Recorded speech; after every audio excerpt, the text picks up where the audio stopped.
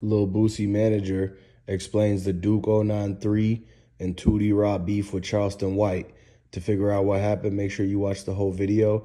If you're not subscribed to the channel, make sure you subscribe. Hit that like button, comment down below. Let's get right into it. You know, Boosie's managers, they knew that Duke wanted to take a Uber. He was going to take the Uber XL and get dropped off right in the VIP where all the security guards were. Because where the ride share and the Ubers drop off is a different part of the parking garage than where Boosie parked and where Duke had to park. So the place they told Duke to park was far away from anything. I mean, if anybody parked there, it could have happened to anybody. Like for real, anybody could have got jumped or ran up on, right? And so now the fact that if he would have took the Uber, it would have took him to the main entrance where they had all the cameras and literally had like the guards right there so that if somebody was to get dropped off, then they will walk him into the entrance, they'll check the ticket right there. And then leaving leaving too, it's like all the security would be there making sure everybody quickly gets out and into their Ubers and off so that the traffic jam doesn't cause any problems. And so that's another main reason. And when it was time for Boosie and Duke the jeweler to go to that concert, well, remember they told you that uh, Duke the jeweler said that he had to follow Boosie to the concert, and Boosie said this in his Vlad TV interview when he was asked about exactly what happened that night to Duke the jeweler in the parking garage and everything. Well, before the parking garage, they had to get to the concert, and to get to the concert, Boosie sent two drivers, two members to Duke's hotel so that Duke could actually follow them because he was behind the GMC truck. So he sent two people so that the drivers uh, could show him the way. But once they got to that gate, that's when the play was ran because the goal was to basically get Duke to the concert. And then once he gets to the gate, everything take care of itself because of the fact that they already had it planned where they weren't going to let him in the gate. They were going to find a way. They're going to say something wrong with his plates. The truck's too big. And basically, they, they're making it to where he ha- he shows up to the concert, but it's like since he's already there, he's not going to turn around and leave. It's like Duke drove all the way from Chicago down to Houston and he already did the dice game. He already did everything. He brought all of his jewelry out. He literally just spent all night cleaning all the jewelry and literally fixing up all the money with the 600k he just won from the dice game. And he was spending all night making sure the bills were all facing the same way making sure all the hundreds was next to each other the 20s and the 50s and then he even ironed some of the bills. But see the thing is is that once they got to that parking garage then they knew that he was going to separate but they knew he was not going to go home. They were like he didn't come all the way out here just to turn around and go home, all because of uh he can't park next to Boosie's GMC truck. So they knew that he wasn't gonna do all that work and then just decide to bail out last second and not go to the concert. So they basically set it up in a way they said, wait, hold a minute. I know another place you could park. You could go park over here. And when the pictures came out of exactly what the parking spot looked like, it wasn't even inside the parking garage. It was like the very, very end of the parking garage and the roof had already ended. So it was almost like a side lot, uh, like a side parking lot that's like literally next to the parking garage. So it's not even like underneath. Like if it was to rain, Duke's car would get, um, you know, like it would rain all over his car. But where Boosie was parked, the roof was all underneath it. So they were actually inside the parking garage. So they kind of made it to where they gave Duke the spot that was way over at the end, like literally right by the road and right by the sidewalk. So if anybody was driving by and recognized him, or if anybody was walking by and they could try to grab his chains, they could try to grab his money, they could try to jump in his whip, his truck, they could try to run off with everything. So it's really no surprise that everything happened the way it happened because they wanted him to get to the concert and then they knew that due to the way that they were going to do the whole parking situation with the security and the valet, they know that he's not going to come all the way that far just to end up, you know, canceling the whole plan. So he went through with staying at the concert, and you know that's a that was just a little mistake due to the fact that Boosie and them and uh, everybody had already really actually turned their back and betrayed him at that point because he was no longer able to move as a function as one unit.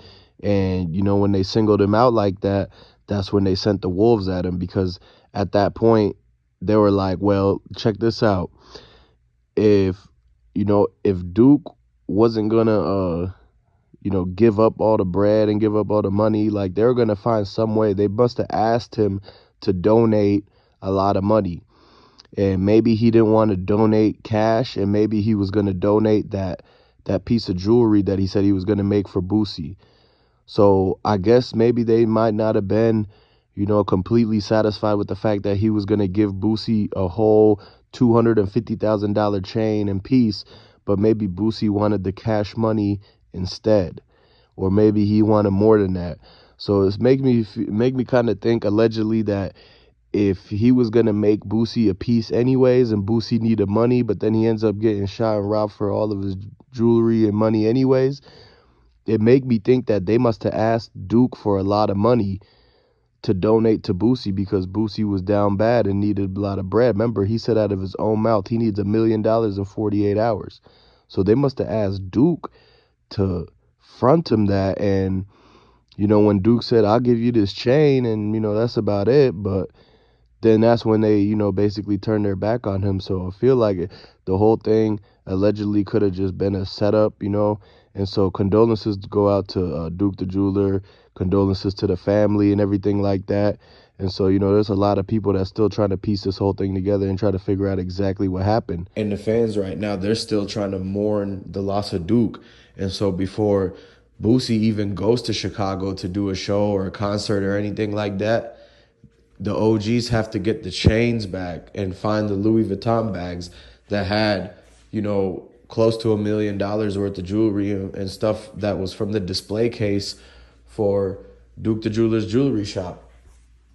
So if they don't get that back yet, then you know Boosie's not gonna be able to come to do any of his shows there. Like he can't do anything, um, you know, at the Bulls Stadium until they get close to everything back that belonged to Duke and and whatever he lost in that situation because technically he was supposed to be watched over by Boosie and his team, and they're supposed to make sure that nothing goes wrong because they invited him. You know, at the, at the end of the day, it's like you can't be you can't leave behind somebody when you invited them. You either go move as a team or not. So you got to make sure to be uh, to let it be known. Like Duke didn't think that he was gonna end up kind of getting left behind or betrayed or you know what I mean. So when they betrayed him he was just like just as shocked as anybody else would be when they find out they got betrayed. And once he got to that parking garage, you know, if he could do it all over again, I'm sure he would decide to, you know, go home, go back on the road and get back to Chicago. But at the end of the day, he tried to go out and support Boosie and everything at the concert. And so now it's like before Boosie uh, goes quick to, to come and uh, go anywhere over there, he, they're gonna have to get the differences settled. They're gonna have to squash the beef before he goes out there because they're not gonna want him to go to Chicago. They're gonna tell him that he has to check in, and when he goes to check in, they're gonna say you're not allowed, so he has to turn around and leave. So it's like right now, if he goes, it will be wasting a trip just due to the fact that once he gets there or lands there or drives there or whatever, they're gonna be waiting for him and they're gonna tell him to turn around and he has to leave because he doesn't get a pass no more because of the situation that happened where basically he didn't give Duke a pass to, to slide with him to the concert and park at the parking spot next to him.